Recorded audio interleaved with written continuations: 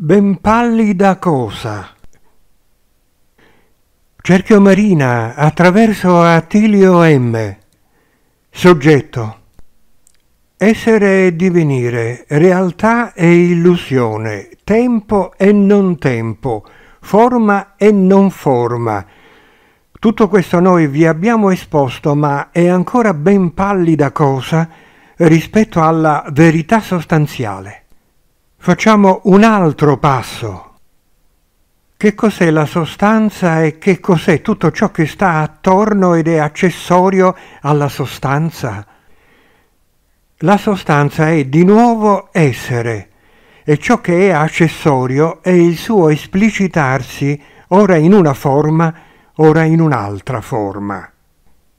Ma ciò che rende comprensibile il mio discorso è presupporre che ogni sostanza si riduca a un'unica essenza. Soltanto se ogni sostanza si riduce a un'unica essenza è possibile parlare di accessorietà, perché in questo caso la sostanza diventa di volta in volta una forma piuttosto che un'altra forma, ma avendo un'unica essenza. È su questo che io voglio intrattenervi per farvi capire che cos'è il divino rispetto all'umano. Essenza, ovvero sia protagonismo assoluto, ovvero sia mobilità assoluta, ovvero sia immobilità assoluta, perché nell'essenza vi è la sintesi della immobilità e della mobilità, intesa in senso assoluto. Naturalmente mi rendo conto di aver introdotto un concetto che a voi sembrerà, figli cari, piuttosto inverosimile. Ma come?